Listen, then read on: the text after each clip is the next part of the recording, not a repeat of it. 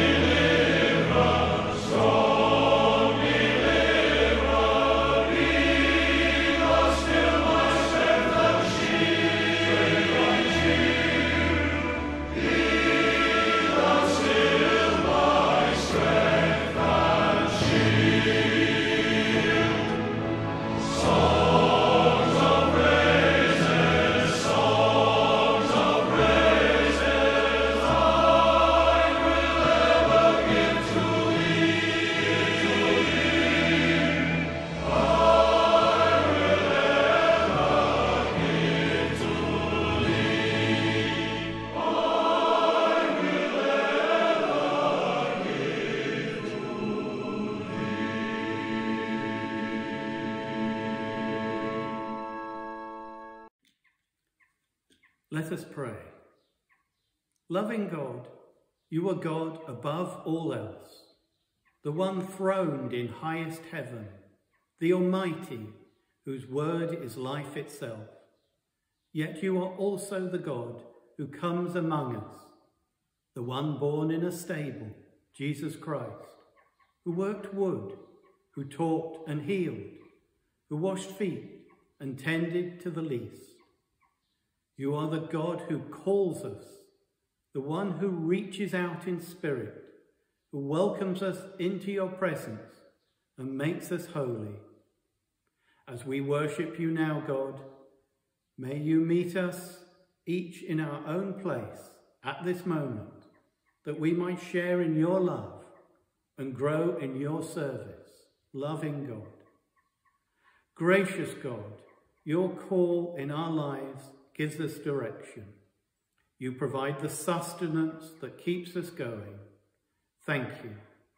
Thank you for the love of Jesus Christ, who loves us, who feeds us, who offers reassurance and brings hope.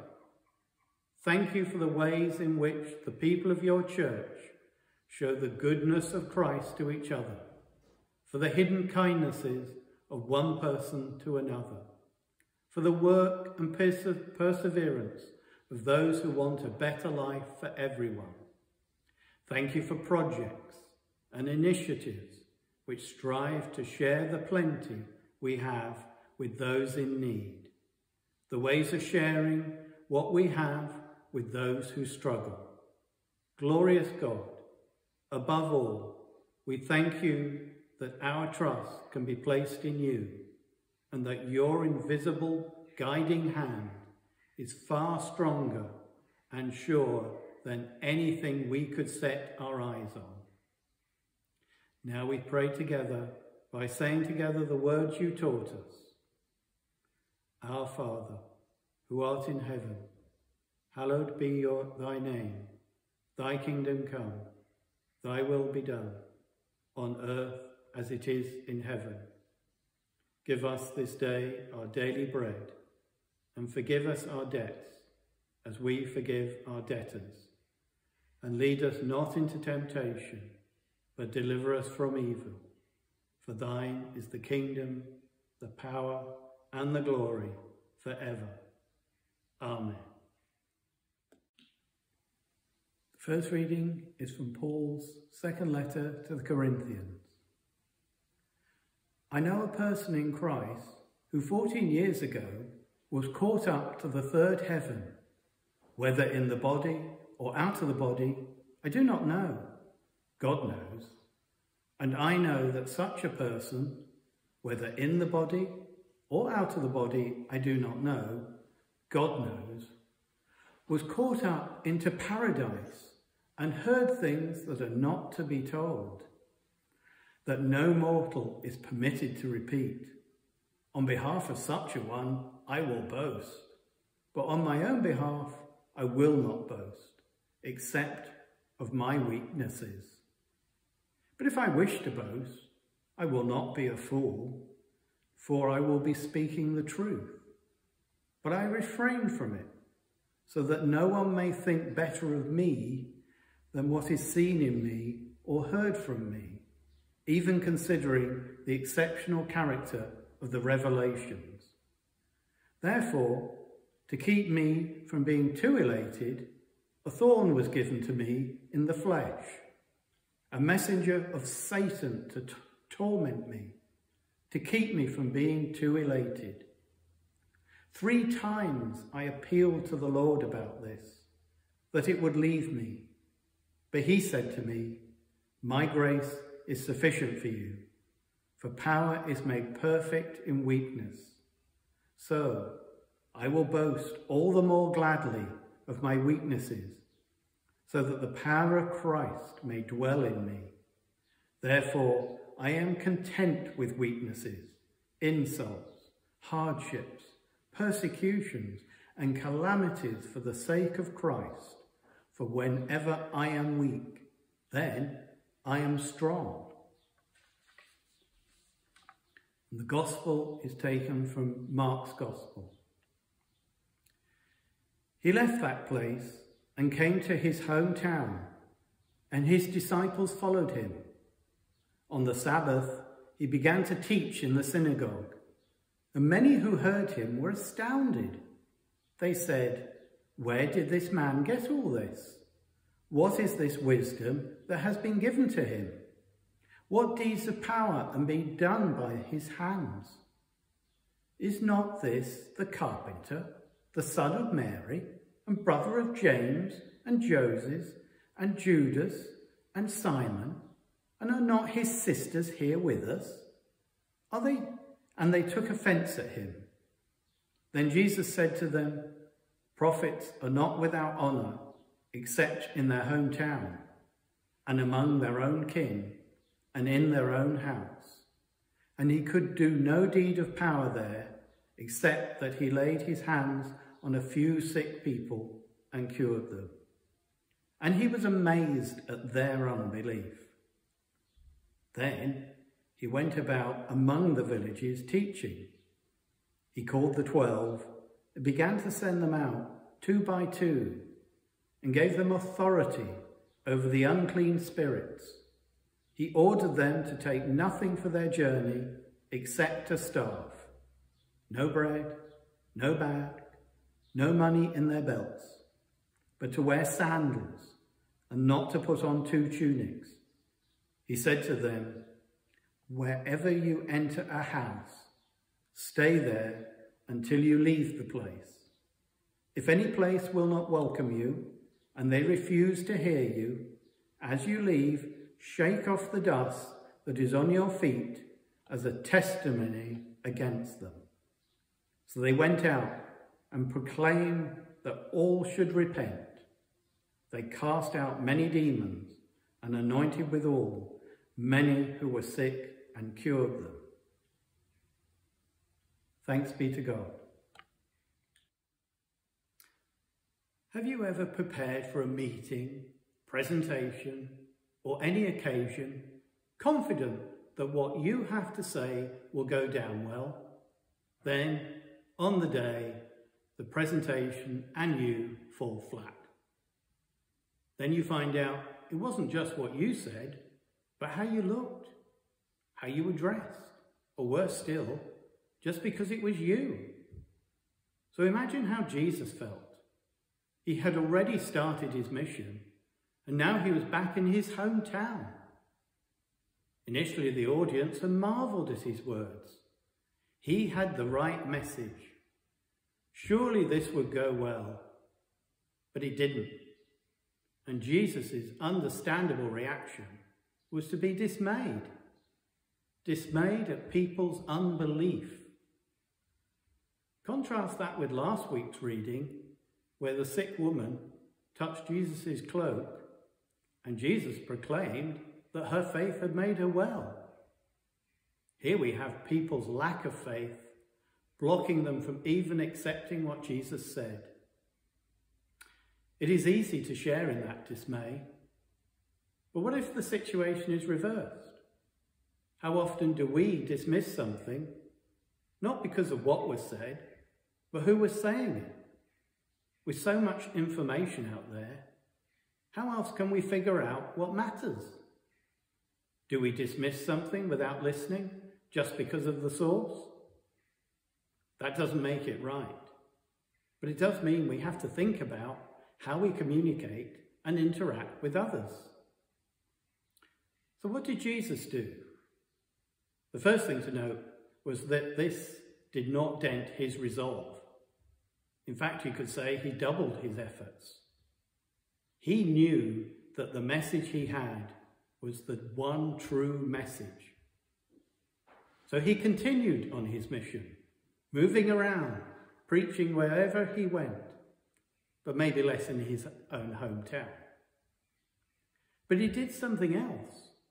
He sent others, the twelve, out in his name. He gave them authority. But apparently, he also gave them restrictions, details of what they could and could not take with them. Take a staff, take sandals, but don't take a whole list of other things. Why?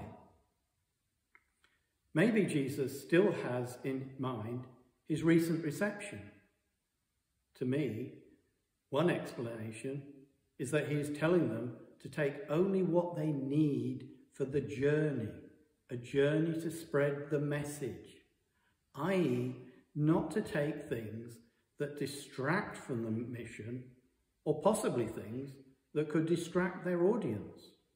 It's all about the message. So, should they stand on a soapbox and just shout their message? Well, it would be one way. But Jesus has more to say. He tells the twelve that wherever they enter a house, they are to stay there. He is not telling them to keep themselves separate. Rather, he is telling them to go and be with whoever will listen. Now, this confirms what we heard last week that the message is for everyone, for anyone who is willing to listen. The 12 needed to be prepared to be with their audience to share with them. Didn't that mean being prepared to share details of themselves and their past? Yes, it did. Could that cause issues? Yes, it could. Just remember the words of Paul. He had received a vision from God, but he had learned not to boast about it. In fact, he learnt the opposite, to be humble, boasting of his weakness, if that is what it took, Paul was willing to journey with his humility and with his weakness, but leaving behind his pride. He knew that God would provide what he needed. He knew it was all about the message. He listened to the churches so that he could make sure that what he said related to his audience. But he did it with God, not himself, in mind. So what does that mean for us? Especially as we open up our churches and open up our lives. Are we ready to listen to God? Ready to step out, to share with others, with God as our guide? And as we share, are we ready to listen so that we can fully play our part as God's love comes down and his light shines on all of us?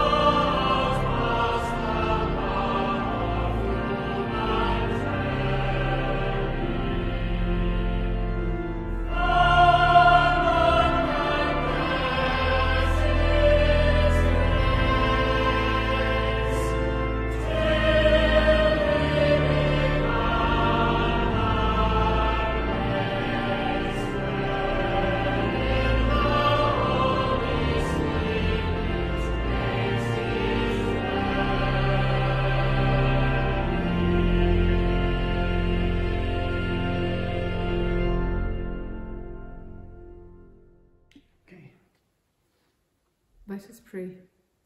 Think of someone who is frightened, someone whose whole world has come crashing down, someone who is concerned for their own health or the health of someone they love, someone facing a time of illness and afraid to share the fears that are bottled inside. Think of someone who's hurting inside, someone whose pain simply won't go away, someone who feels rejected, unwanted, or unloved, someone who longs to know compassion, hope, and peace, but has no one to offer it to them. Think of someone who is challenged, someone who is increasingly aware that all is not well in their lives, someone whose wrong attitudes, mistaken values, or hurtful words are the cause of despair and disillusionment for someone they love. Think of someone who is broken, someone who set out with high hopes and great ambitions, someone who once had important plans for their future, but whose tomorrows are covered with clouds of despair. Think of someone who's happy, someone who's very much aware of all they have received from God's gracious hand, someone who overflows with thankfulness and joy, someone whose life is daily set alight with the love and the presence of Christ. Think of someone whose life is being touched by God, someone whose whole existence is being turned upside down, someone experiencing for the first time in their life the presence and the power of the Holy Spirit. Think of someone who is discovering what it can mean to offer and receive forgiveness, someone whose burden of guilt is being lifted and whose bitterness and anger are gently being washed away. Think of someone who's weighed down by their sense of responsibility, someone whose employment has lost the joy and fulfilment it once held, someone overwhelmed by the demands of family and friends, someone who is burdened by the pain and the suffering they see all around them, someone who feels helpless to respond to God's suffering world. Think of yourself and all that you carry within you. Think of yourself and all that you must face tomorrow. Think of yourself and the promises of God to hold you, bless you, and love you from now until the end of all things. Think of yourself and, in the silence, bring your personal concerns to the Lord. Lord, in your mercy, hear our prayer. Amen.